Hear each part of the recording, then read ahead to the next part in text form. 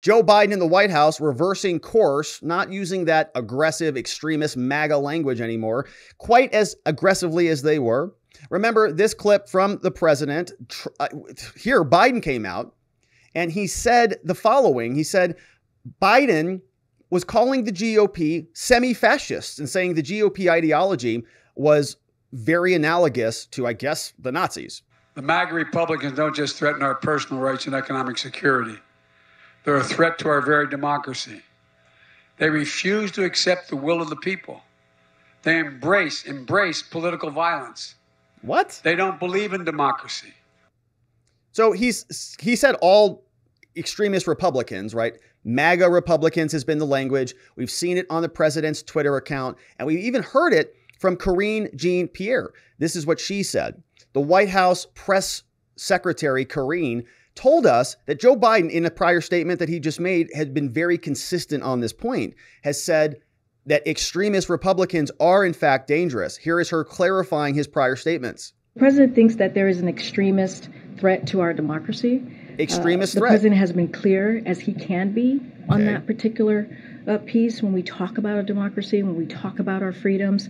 Uh, the way that he sees is the MAGA Republicans are the most energized part of the Republican Party. Let's rewind that. Who is she talking about? Who are the good Republicans? Who are the bad Republicans? Who's allowed to be a part of society and who's not? Specifically, who are you describing here, Karine? Let's listen one more time closely. A piece when we talk about a democracy, when we talk about our freedoms. Uh, the way that he sees is the MAGA Republicans are the most energized part of the Republican Party. Uh, the, that extreme, this is an extreme threat to our democracy, to our freedom, uh, to our rights. Okay, the MAGA wing of the Republican Party, not talking about elected officials, not talking about Trump, talking about everybody, talking about the entirety of the people who supported Donald Trump. Very interestingly, just about a short day later, Karine Jean Pierre comes out and she's singing a little bit of a different tune here. Now, rather than calling it all 80 million people who support Donald Trump, she says it's only the office holders. Listen to this little shift. Go back to tonight's speech. Obviously, you said that the president's going to be calling out these lawmakers that are MAGA lawmakers in Congress. But you had 74 million people vote for Trump last time around. You said it's a small number that the White House believes are extremists. Can you give us an idea of ballpark? Are we talking a million of that 74 million? Are we talking about 1%, 20%? How many are, well, bad? I'm talking about um, I'm talking about specifically of uh, MAGA office holders. That's oh! what They're the Not ones we're ta- I'm talking oh! specifically. I already answered this question oh. uh, about how um, yeah. you know you didn't say like office holders. Nerve right? When when folks are are, are saying uh, that we're we're trying to be div- divisive or that we're talking about millions of voters, that's not what we're talking about here. We're talking you, about MAG, MAGA office holders. I literally just played the clip, Karine. You did say it. Sorry.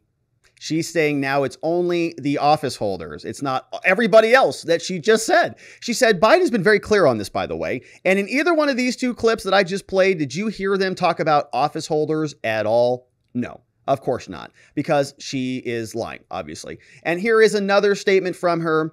And they're asking her specifically about this question because the press is wondering how they're going to get away with all of this language. And here is what Karine says in response to that. What do you president's message tonight is for Americans who consider themselves Republicans or may uh, still support the former president? Is there something in the speech directed to them? Well, look, the president really does believe that this, um, that what he's going to talk about.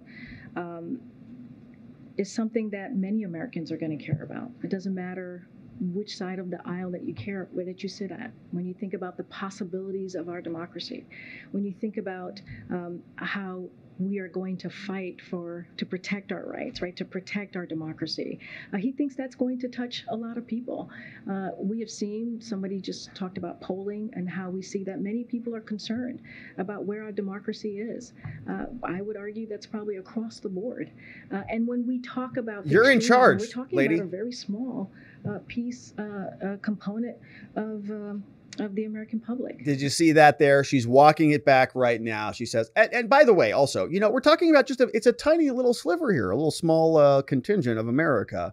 It's not all the MAGA Republicans. Joe Biden was just threatening America, saying, uh, unless you've got F 15s, you're in big trouble, right? Joe Biden said, if you have firearms out there, you Second Amendment lunatics, you think you can take me on? I'm Joe Biden. Joe Biden thinks he's like Tom Cruise with a helmet, call sign, pedo Peter. Come fight me, America. Bring your guns.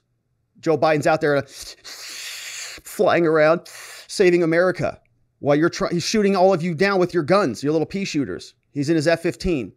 Give me a stinking break. And now they're saying that they're reducing all these numbers. Oh, it's just a small, tiny sliver. That's not what they mean.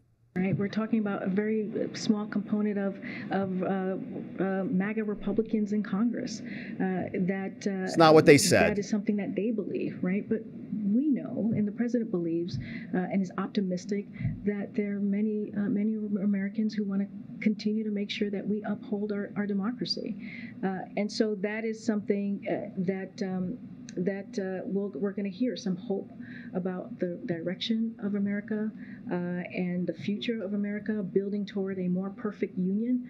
Uh, that is something that we have heard throughout our history in this country, and uh, and so Ugh. he's going to speak directly to them. All right, so he did. He spoke directly to us, and he, I think, screamed at us, and he yelled at us all about unity. Problem is, his administration, his people, his own press secretary are the individuals who are screaming and shouting about extremist ultra MAGA Republicans who are insurrecting America and going to be the end of all of us. And so that is Biden. Obviously, they're reversing course on that a little bit. We'll see if it continues or if it doesn't.